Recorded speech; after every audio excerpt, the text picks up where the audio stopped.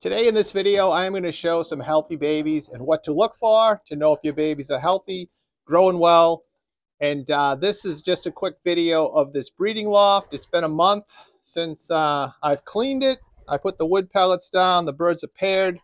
Their babies are just starting to hatch and I'm pretty excited. And as you can see, birds look good. And um, the loft, those are the wood pellets. They're starting to break down. And we're going to go to the other section of my young bird loft where I started breeding early to look at some babies. And I'll point out some things that I look for. And I just want you to notice the health and the condition of the pigeons. I vaccinated and worm them. I never medicate them. Any of you follow my videos, you know I'm antibiotic free. And uh, this is what the nests look like. Again, I haven't cleaned. I haven't done anything but move the wood pellets around a little bit for the last month. And uh, it's not bad. I'll start cleaning once the babies hatch.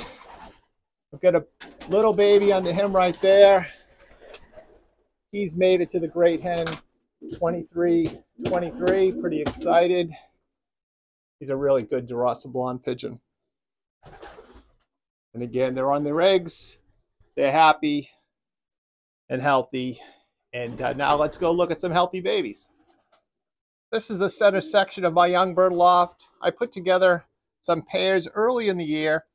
I need some birds for Africa Pro. I'm going to ship these 2024 babies off to Africa Pro in February. So I had to get an earlier start.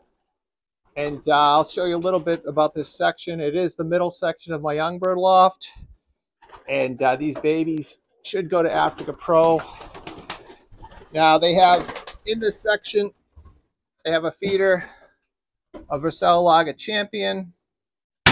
They have a feeder of chicken pellets with a few rabbit pellets mixed in. They eat very few. My brother put in a little cup of rabbit pellets. They have grit, grit and mineral feeders, everything in front of them. Now let's look at some babies. They do have a little flight pen that they can go out when my race team enters. Here we have two healthy babies. I took them outside to get some better light. And now, things you want to notice with the babies, no redness. No redness on the belly. You don't want to see veins sticking out. The belly button is all nice and healed. There's absolutely no redness. Good looking feet. You know, they're meaty. You cannot miss one feeding. They cannot miss one feeding while they're growing. Are you going to stunt the babies? So definitely be aware of that. If you can't feed them constantly, put a feeder in there. Keep feeders in front of them. Also, don't keep the loft completely sterile. The birds get a lot of their natural immunity from picking around in droppings, and they pass that to the babies. So as you can see, this is what healthy babies look like. Very, very nice. So, don't miss a feeding. Plenty of grits and minerals. No redness. No swelling around the, the navel. No veins. Sickly babies look skinny. They got veins sticking out. These are very healthy babies. Now we'll look at some older babies and uh, take a look at what I'm looking for in them. Let's take a look at the baby's wing here. I took it outside for better light. No marks, no fret marks. As you can see, there should not be any lines across the feathers.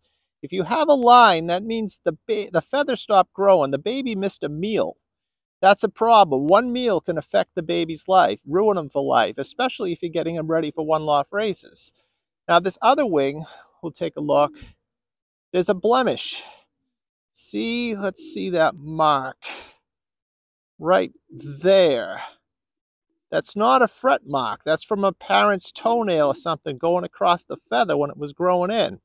Also, look at the baby's face. Dry. It shouldn't be a greasy looking wattle. It should be dry.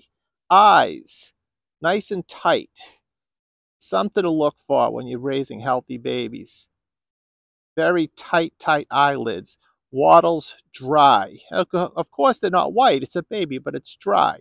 Good, good, healthy baby right here. We'll go off, hopefully, to the One Loft Race Africa Pro. Here's another baby.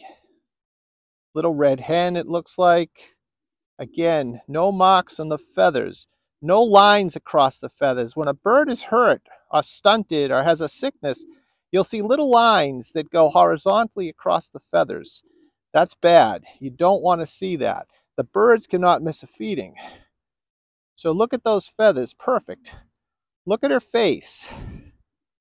The wattle, again, it's not white, but it's dry. It's a baby. It shouldn't be greasy or oily. Look at the eyes. The, see how tight they are. The, the um, eyelids around the eyeballs, nice and tight. I don't know if we can see down the throat, but it's pink, completely pink. No redness, no, no veins, nice pink mouth. And then the belly underneath there shouldn't be any veins, shouldn't be any redness. Sometimes on a sick baby, you'll see all these irritated looking red veins on the baby. Same with the feet, nice and healthy. Another pigeon I'll be sending off to the one loft race. I know in a lot of lofts on the internet, you'll see them spotlessly clean. A lot of the Europeans, if, if I had full-time help, my lofts would be a lot cleaner. Clean around the bowls. Keep them dry.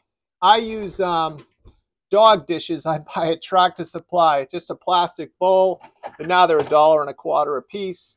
It's a great deal, but keep the loft dry, but not crazy sanitized. Like, let them get into some droppings. That's how they pass the adult immunity. That's how they infest the baby's intestine with the friendly bacteria. They get it from the milk, but they also get it from the droppings of heavy of um, of healthy pigeons. So my pigeons being antibiotic free for forever, their droppings are probably extremely healthy and it passes a great natural immunity onto the babies. This is my young bird loft. I'm just using it as a temporary breeding section to get some early babies. And I hope you like my videos. This is Frank McLaughlin. Please like and subscribe, share with your friends, and uh, put some comments in. If you have any questions, I can maybe answer one question and help many. Thank you so much.